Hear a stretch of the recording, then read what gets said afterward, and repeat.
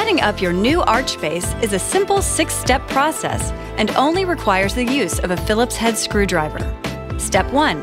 Remove product from packaging and set the box aside. Step 2. Unfold each half and secure the heavy-duty support legs to the frame with the pre-installed wing nuts.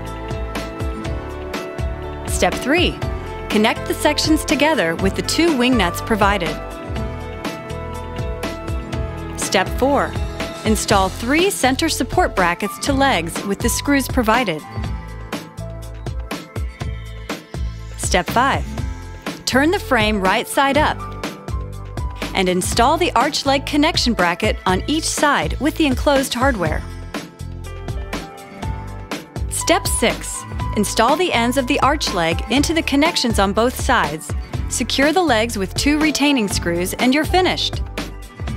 The arch frame supports up to 3,000 pounds and allows for extra storage underneath the platform. The arch platform frame also has optional headboard brackets available.